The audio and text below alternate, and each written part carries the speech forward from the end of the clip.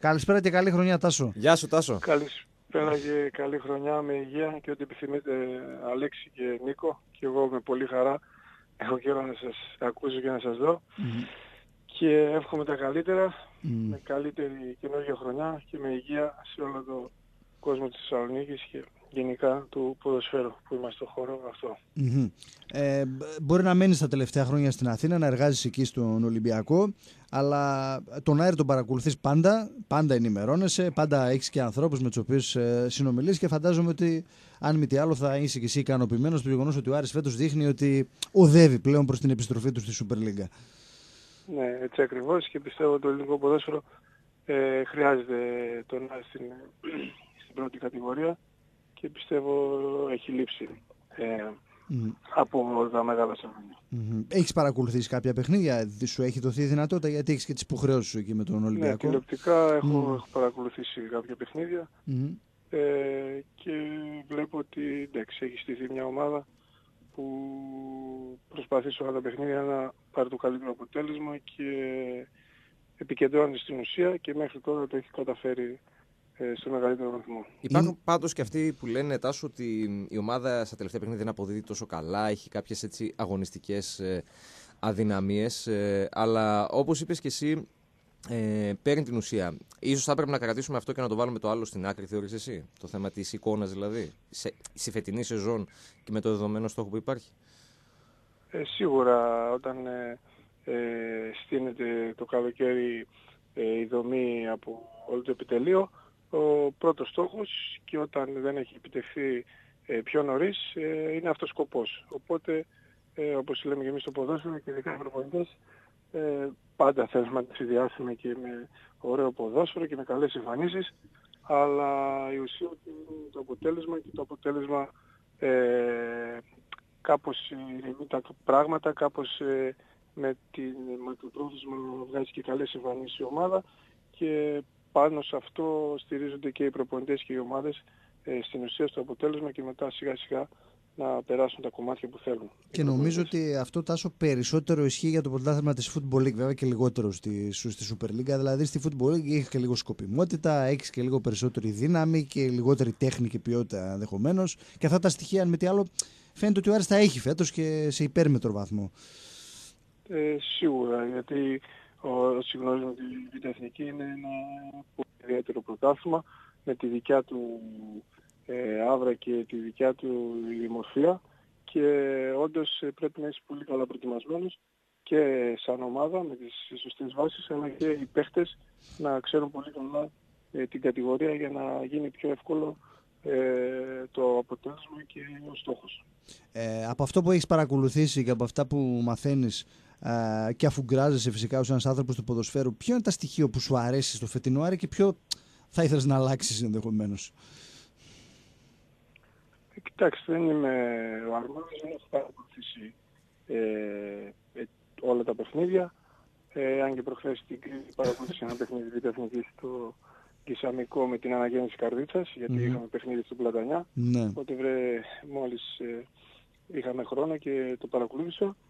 Ε, πιστεύω ότι ε, η βάση που είναι ε, μια ε, ομάδα που δύσκολα δέχεται φάσεις, μια ομάδα που δύσκολα θα μπορείς να την προβληματίσεις, αυτή πιστεύω είναι η βάση της ομάδας.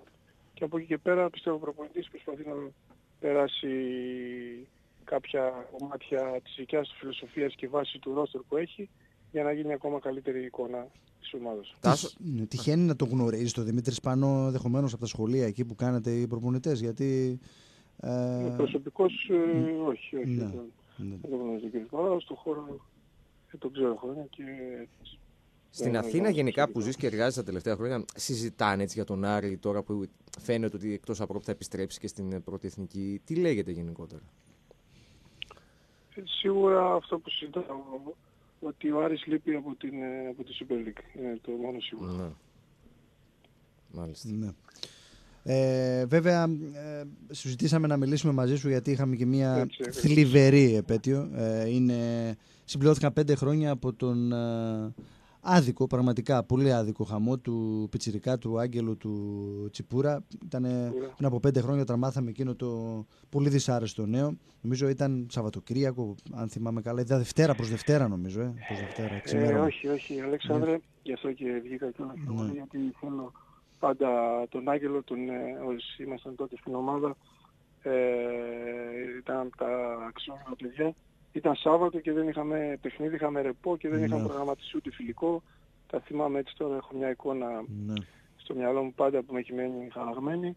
Ε, με, με συγκινεί που όλα τα παιδιά παρόλο που εκείνη η φουρνιά είχαν πάρει το πρωτάθλημα παίζω σε διάφορες ομάδες είτε σε πιο ψηλές κατηγορίες, ε, ο Σουνάς είναι στην Ιταλία, αλλά πάντα τέτοια μέρα ε, θυμούνται τον Άγγελο και πολλές φορές όταν βρίσκω εγώ παιδιά είτε στα γήπεδα είτε ε, του συναντώ ε, από εκείνη τη φουρνιά της ΚΑΠΑ17 ε, πάντα θα πούμε και μια κουβέντα για τον Άγγελο και έχει κάπως ε, ε, δεν έχει φύγει κάπως από εμάς πάντα το θυμόμαστε και πάντα το σκεφτόμαστε και φυσικά και αυτός από εκεί που είναι μας δίνει δύναμη και μας πιστεύω μας παρακολουθεί.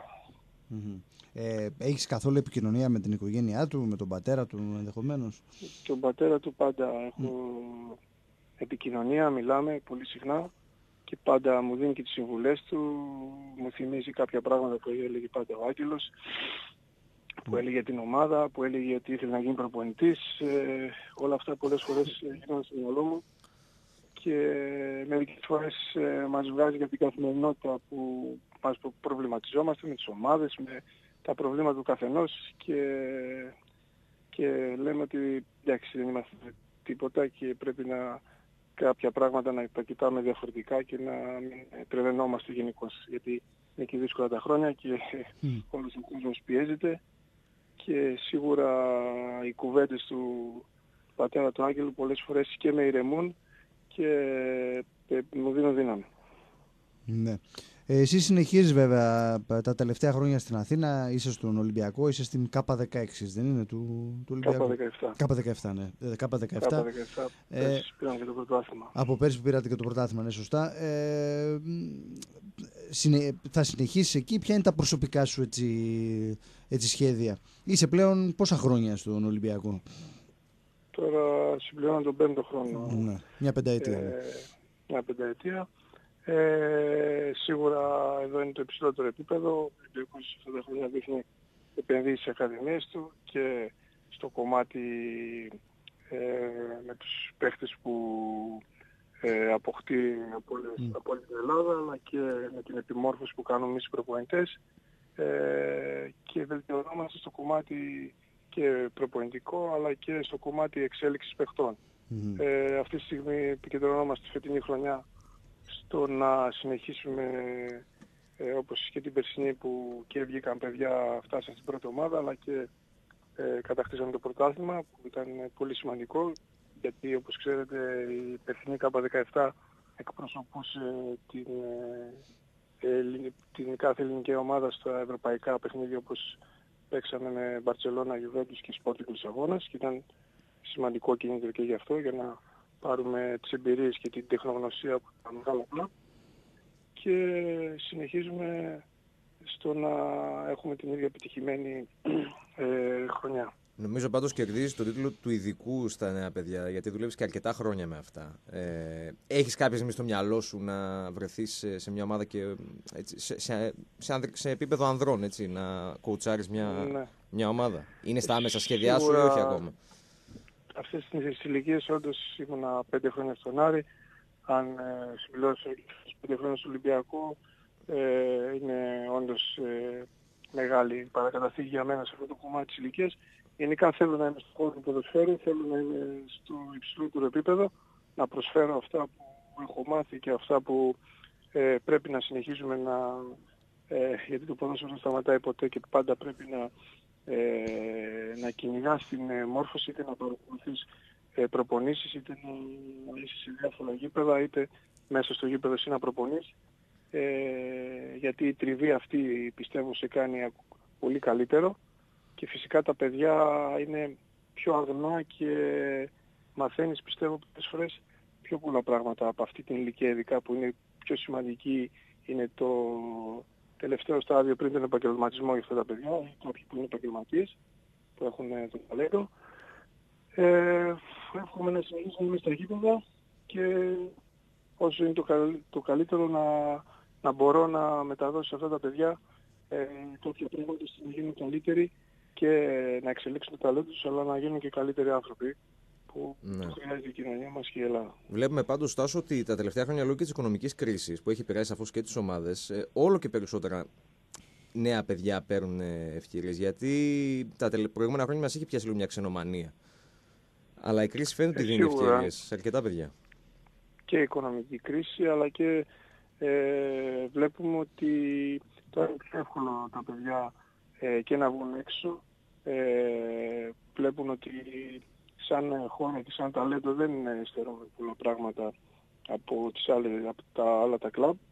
Να στερούμε λίγο σαν δομή του ελληνικού ποδοσφαίρου στο να υπάρχουν καλύτερες συνθήκες ή το μεταβατικό στάδιο όταν είναι σε μια μεγάλη ομάδα και δεν ε, είναι ακόμα έτοιμος στο να ενταχθεί στην πρώτη ομάδα, να υπάρχει ένα μεταβατικό στάδιο ώστε να μην χάνονται αυτά τα παιδιά, να ψήνονται πώς, όπως λέμε κάπως σε διάφορες κατηγορίες και μετά να επιστρέφουν από εκεί που ξεκίνησαν ώστε να μπορούν να, να ανταποκριθούν σε αυτό το κομμάτι που, που δούλεψαν. Να σε ευχαριστήσουμε πάρα πολύ, Τάσου, να ευχηθούμε ό,τι καλύτερο, πρωταθλητής και φέτος ε, με την ε, ΚΑΠΑ 17 και ό,τι καλύτερο και προσωπικά, φυσικά σε προσωπικό επίπεδο και για σένα για το 2018. Ευχαριστώ πολύ και σε εσάς εύχομαι τα καλύτερα να συνεχίσετε πάντα να προσφέρετε στον χώρο του αθλητισμού με την ε, ε, προσωπικότητά σας αλλά και με, την, ε, με σε όλο το κομμάτι αυτής της προσφοράς που κάνει τόσα χρόνια και εσύ Αλέξη και mm. εσύ Νίκο και εύχομαι τα καλύτερα και τους καλύτερους στόχους και στη δικιά σας ε, εκπομπή και στα διαδρομία. Μα μακάρι όλα αυτά που λες να μας βρουν του χρόνου όλους μαζί στη Super League φυσικά. Καλή συνέχεια. Να σε καλά Τάσο.